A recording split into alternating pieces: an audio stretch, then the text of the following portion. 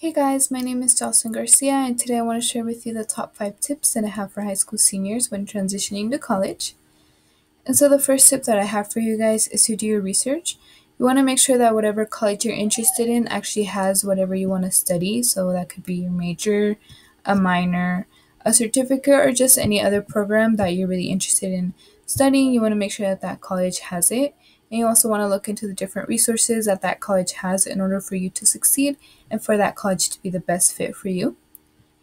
And so, my next tip is to apply as early as possible, and that ranges from college applications to scholarships to different honors programs applications and stuff like that.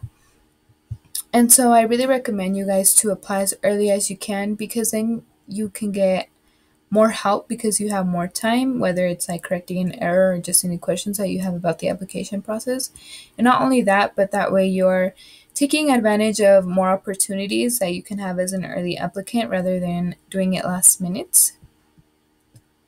The next tip that I have for you guys is to always be applying for any type of financial aid, whether that's FAFSA or a scholarship or even loans. You want to make sure that you're asking those questions early and really applying for all of that and, uh, and for as much as you can.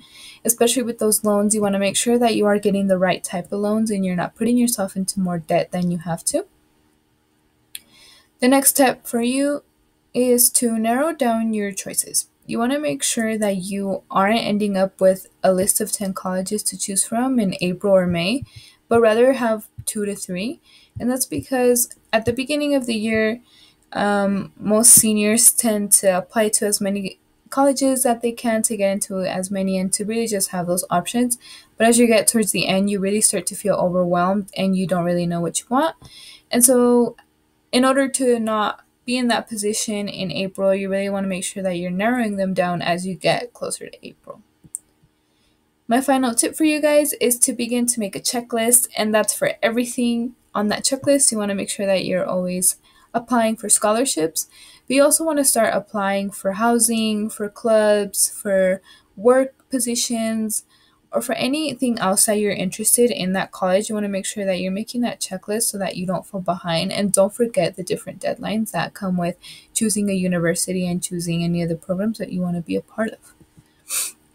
So, those were my five tips for you guys, and I really wish you the best of luck. And you can always feel free to reach out to me or any other student ambassador in the admissions office or even in the orientation office as to like what are the next steps after you decide to come to the university but I wish you guys the best of luck and have a great day.